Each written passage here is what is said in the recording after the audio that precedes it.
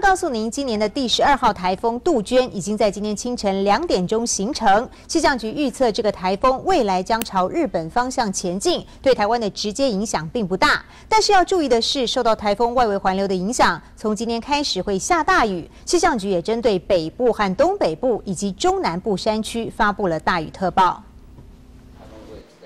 又有台风形成了，今年的第十二号台风杜鹃，下午位于琉球南方八百七十公里的海面，以每小时十三公里的速度朝东北方前进。气象局判断，靠近台湾的机会不大。未来的行进路径呢，事实上比较偏向北北东，甚至往东北的方向。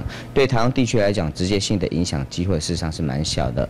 不过，受到台风外围环流的影响，这两天北部、东北部的天气都很不稳定，一下子下大雨，一下子又出大太阳。气象局持续发布大雨特报。目前位于一个大的低压环流圈，那这个低压环流呢，刚好处于在台湾的边缘，所以呢，台湾地区受到这个低压环流所带来的水汽影响之下，北台湾地区包括在东部来讲的话，呃，间歇性的雨势都很容易发生。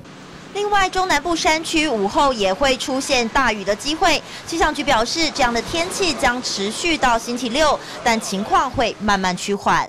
记者林哲武、郭俊霖台北报道。